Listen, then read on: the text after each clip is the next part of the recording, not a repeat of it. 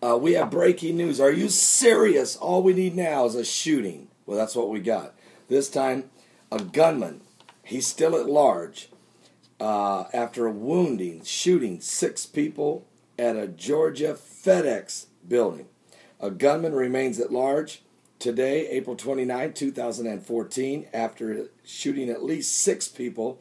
They're wounded at a shooting in Georgia at a FedEx facility. The gunman erupted inside the Airport Road building just northwest of Atlanta. Uh, emergency workers rushed the victims to the Wellstar uh, Ken- uh, Regional Medical Center, but their conditions were not immediately released. Uh, also, WXIA TV is reporting that the suspect fled after the shooting and was still on the run more than two hours later. A spokesperson for FedEx said only that the company was working with investigators but declined to speak any further. FedEx is aware of the situation, the spokesperson said in a statement. Our primary concern is the safety and the well being of our team members, first responders, and others affected. FedEx is cooperating with authorities. So there's something horrific going on. The Devils went down to Georgia. There's no question. Not only is there tornadoes, not only is there a gunman in the FedEx, but folks, we have a country that's in trouble. We really need to pray.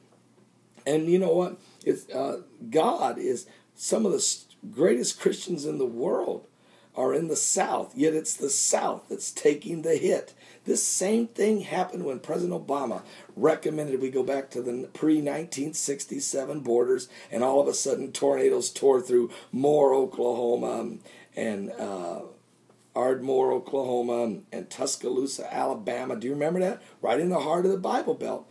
And then, and the Christian people respond always in a positive way. But we're constantly seeing the punishment upon our nation. A punishment, what I believe the harbingers, these are just harbingers. You haven't seen uh, the real judgment of God. God is merciful, and but right now the devil's loose. These are demons. God didn't do this shooting. I can tell you that. There's devil, the demons of hell are loose in the hearts of men, and we're seeing more and more violence across this nation, which may be the most violent nation in the world. I'm Pastor Paul Begley. Would you please pray for these six that are wounded? Also, pray for the first responders and everybody involved, and also pray that this uh, individual who did this shooting is captured. It needs to happen, and it needs to happen now. So, we'll continue to monitor this things going on. Also, earth uh, tornadoes are still breaking loose across the south as I speak. This is a very intense day. Remember what I've said how many times. Whatever's going on in the spiritual world, many times manifest manifests in the physical, and it's manifesting today. Give your life to Jesus Christ.